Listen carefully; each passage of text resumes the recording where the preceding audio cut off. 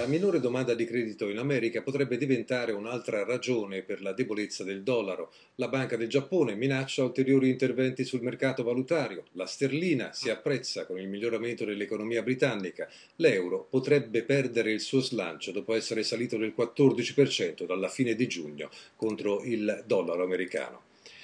Di mercato valutario parliamo in questo video con eh, Saverio Berlinzani. Saverio è presidente di Save Forex e questa volta lo troviamo in collegamento internet da Milano. Ciao Saverio. Ciao Luciano, buonasera a tutti.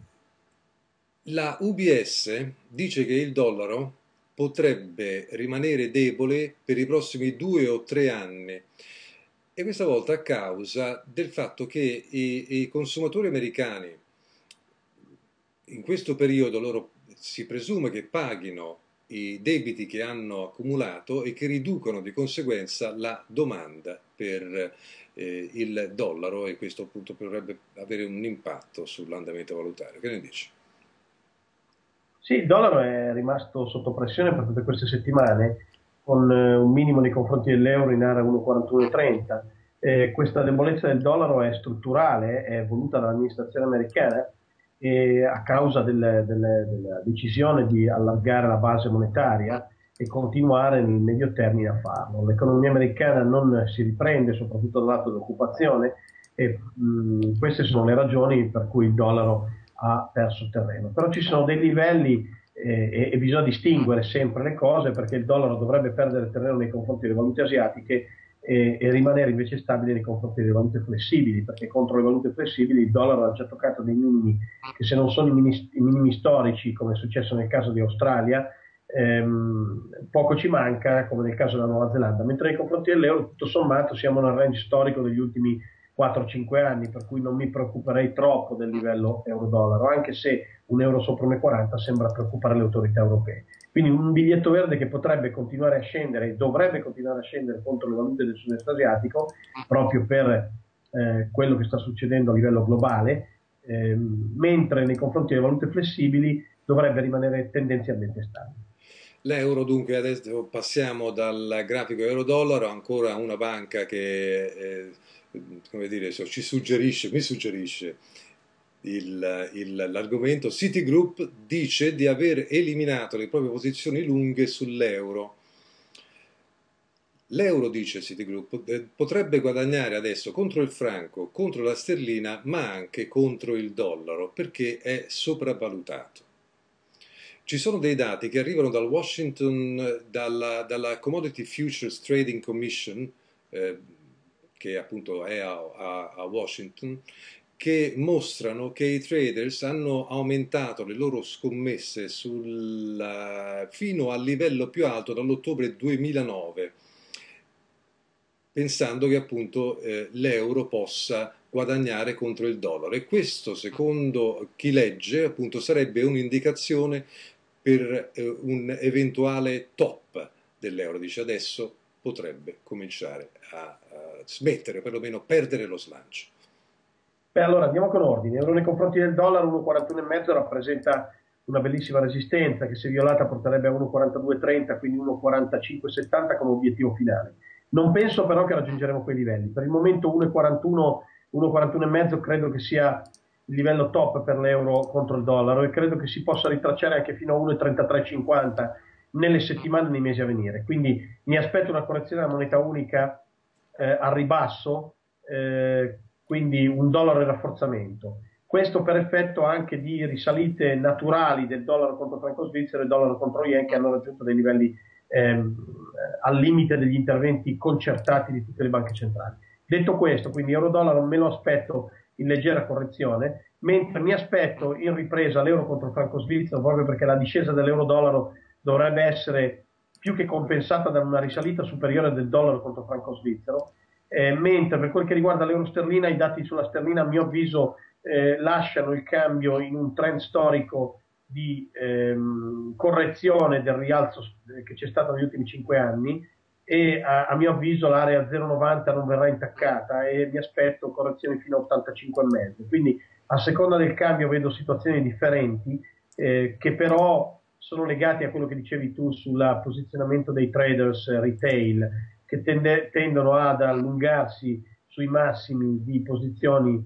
eh, contro il biglietto verde e quindi credo che per questa ragione il biglietto verde potrebbe cominciare a, ripre- a riprendere quota. Ci sono poi altre ragioni che dovrebbero rallentare la corsa dell'euro, eh, non per ultime le dichiarazioni del, di alcuni banchieri centrali europei che cominciano a dire che al di sopra di 1,40 e lo, lo, stesso Fondo Monetario Internazionale che dice che al di sopra di 1,40 eh, la crescita del cambio potrebbe minare la, la, la ripresa economica nel vecchio continente. Lo yen dunque si allontana un tantino dal punto massimo raggiunto negli ultimi 15 anni, la Banca del Giappone appunto inizia a parlare di altri interventi, dice ovviamente non possiamo sorprendere il mercato, però non possiamo neanche dirglielo quando lo facciamo. La Banca Centrale Giapponese storicamente aveva smesso di intervenire nel, 1900, nel 2003, scusate. E, um, il livello del 79 e 65 era stato visto addirittura nel 1995. Eh, ha fatto un paio di interventi in area 83-83,5, ha visto che il mercato tendeva ancora a scendere, quindi ha smesso di intervenire eh, minacciando um, in ulteriori interventi, ma non facendolo perché il mercato è long dollari short yen e quindi in questo momento il mercato va a cercare stop loss al ribasso. Fino a che non verranno presi questi stop loss è probabile che la banca centrale non intervenga, però già in questi ultimi giorni abbiamo visto una ripresa da 80,70 fino a 81,30 e con la salita del dollaro contro franco svizzero credo che il cambio si stia stabilizzando e al di là di colpi di coda in area 80, 80,5, 80,70, credo che questi livelli siano estremamente interessanti per andare short yen e per comprare dollari nel medio-lungo termine. Ma questa è la mia visione personale che in questo momento non è corroborata da mh, una ripresa economica americana che possa sostenere eh, questa idea. La mia è un'idea di possibile rimbalzo eh, per il momento e successivamente solo quando l'economia americana darà dei segnali forti eh, con la ripresa del mercato del lavoro potremo parlare di ripresa sostanziale del dollaro e indebolimento sostanziale e strutturale dello yen.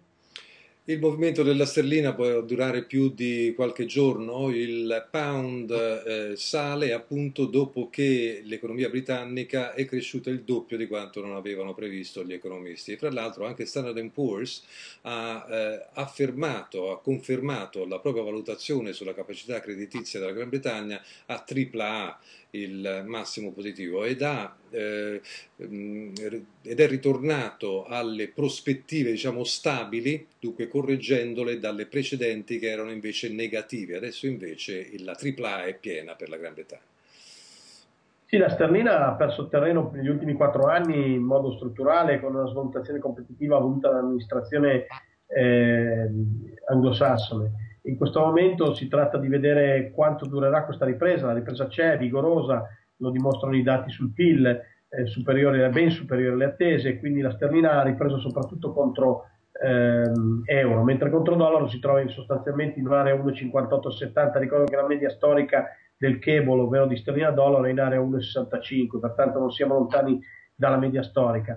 Mia, eh, le mie aspettative su euro sterlina sono per un ribasso in area 0,85-85,50, mentre per il cable l'area 1,60-1,65 per il momento dovrebbe contenere 1,60-1,61, scusate, dovrebbe contenere i rialzi. Solo una violazione di questi livelli potrebbe portare ad un rafforzamento sostanziale della sterlina, ma per vedere questo dovremmo vedere anche un euro-dollaro eh, ancora più forte. Per il momento questo non è possibile, pertanto mi aspetto più che altro una fase di eh, laterale di, di, cable tra 1,55 e 1,61 mentre l'euro sterlina lo vedo scendere pertanto, cable, pertanto eh, la sterlina dovrebbe rafforzarsi soprattutto contro la moneta unica che era stata la prima a beneficiare della negatività della valuta britannica negli ultimi mesi. L'ultimo grafico è quello del franco svizzero eh, sembra che tutte le, le, compravendite, particolarmente anche sul mercato valutario, siano dettate da questo quantitative easing, no? dalle facilitazioni quantitative, dal fatto che la Federal Reserve stampi soldi e li inserisca nel sistema attraverso eh, la, l'acquisto di debito americano. Questo potrebbe portare eh, a un certo punto a una diminuzione dell'appetito per il rischio? Sicuramente ehm, il fatto che ci sia un aumento della base monetaria porta a un'inflazione della, della moneta stessa che si va a, a, immettere sul mercato, per cui il problema è che questo dollaro eh, sia inflazionato e l'unico momento in cui eh, il dollaro potrà riprendersi sarà quel momento in cui l'inflazione a causa di questa eh, esplosione di dollari sul mercato, questo aumento enorme di quantità di dollari sul mercato, porterà ad un aumento dei prezzi e ad un aumento dell'inflazione. Questo aumento dell'inflazione, perché l'aumento della massa monetaria porterebbe a un aumento dell'inflazione. Questo aumento dell'inflazione potrebbe così causare un rialzo improvviso dei tassi da parte della Banca Centrale Americana, quindi della Federal Reserve. Eh, l'aumento dei tassi ovviamente eh, non farebbe altro che riportare ad un bisogno di acquistare dollari per, ehm, perché si ritiene il dollaro di nuovo una valuta eh, da investimento e non più una valuta da finanziamento o indebitamento. Fino ad oggi con i tassi a zero è stata una valuta da indebitamento, pertanto si è assistito eh, continuamente a, a, ribassi della moneta americana. Eh, questo aumento eh, di eh, quantità di moneta non ha fatto altro che provocare questa spirale e, e, e, peggiorare la situazione del biglietto verde, una volta che l'inflazione dovesse ripartire, e non è il caso di questo, di questo periodo, eh, gli americani alzeranno i tassi quindi il dollaro tornerà appetibile dreneranno automaticamente liquidità dal mercato, eh, togliendo questo eh, quantitative easing dal piano e dal programma eh, della stessa banca centrale.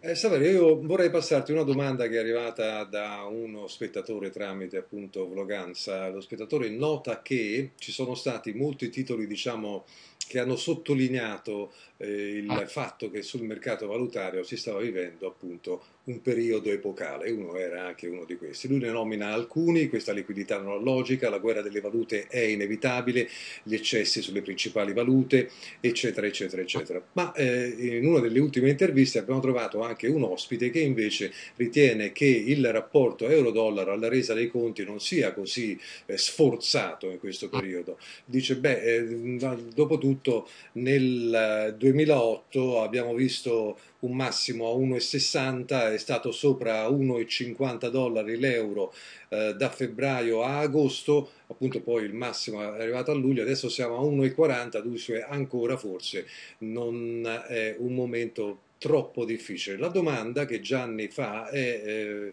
appunto che vorrei far considerare il grafico, in questo caso parla di un grafico dell'euro-dollaro a più lungo periodo, in considerazione dei rialzi e dei ribassi dal 2008 ad oggi, vi sembra che ci sia una guerra delle valute o una delle tante scaramucce che poi alla fine si aggiustano da sole senza fare troppa notizia? E se eh, non vi piace la parola scaramuccia, dice almeno spiegatemi le scorribande dal 2008 sull'euro-dollaro. Beh, allora, Cominciamo col dire che l'euro-dollaro rispetto al 2008 ha visto una diminuzione interessante della volatilità. Eh, basti pensare che da 1,60 nel 2008, ottobre 2008, eh, il cambio scese a 1,24 per poi risalire a 1,52 e per poi scendere a 1,18. Quindi e, e, per poi risalire nell'ultima fase a 1,40. Quindi si è assistito a mh, una serie di tre massimi inferiori, che sono 1,60, 1,52 e uno l'ultimo è 1,41,5 mentre si è assistito a due, due minimi inferiori, cioè 1,23 nel periodo del, della, della, crisi Lehman, quando l'euro ha fatto i minimi, poi 1,18 nell'ultima crisi europea, quando si pensava che l'euro potesse addirittura scomparire eh, con la crisi greca, ehm, e adesso potremmo tornare a scendere verso addirittura dei minimi inferiori. Quindi si tratta semplicemente, guardando l'euro-dollaro, non certo di una guerra valutaria però bisogna considerare che il mercato eh, valutario non è solo l'euro-dollaro, il mercato valutario è tutta una serie di valute contro dollaro che hanno oh, nell'ultimo periodo fatto i minimi o i massimi degli ultimi eh, 15 anni. Mi riferisco al, all'Australia che ha toccato la parità contro il biglietto verde, mi riferisco al dollaro yen, mi riferisco al dollaro franco-svizzero che è sceso a 0,9450, minimo storico. Ebbene, tutta una serie di livelli su cui il dollaro ha fatto dei minimi, tutta una serie di valute su cui il dollaro ha fatto dei minimi e sui quali si pensa che ci sia una guerra valutaria. In effetti eh, la situazione è tale perché ci sono troppe poche valute flessibili. Il fatto che la Cina manipoli il cambio, tenga il cambio non lasciato, cioè manipolato e non lasciato alle libere forze di mercato, così come eh, la rupia indiana, così come il baht thailandese, così come la maggior parte delle valute del sud-est asiatico, eh, provoca una distorsione a livello globale. Che poi dopo questo non si rifletta sul cambio euro-dollaro perché è il più liquido di tutti, questo è un altro paio di maniche. Sicuramente l'euro-dollaro rimane la valuta più liquida e la valuta più tranquilla e così Saverio, continuerà dobbiamo, ad essere. Dobbiamo davvero fermarci. Per Grazie mille eh, Saverio Berlinzani. Ciao Saverio. E poi riprenderemo.